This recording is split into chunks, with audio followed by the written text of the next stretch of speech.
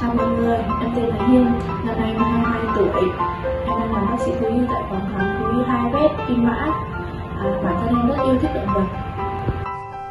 Em rất vui và hạnh phúc khi được làm công việc này, giúp được nhiều bạn chó mèo. Lúc mới làm việc thì em cũng rất sợ, sợ bị các bạn chó mèo cắn.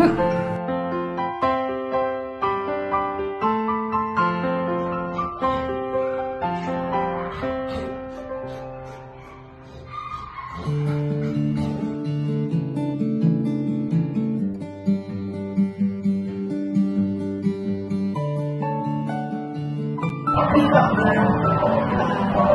việc của em sẽ giúp cho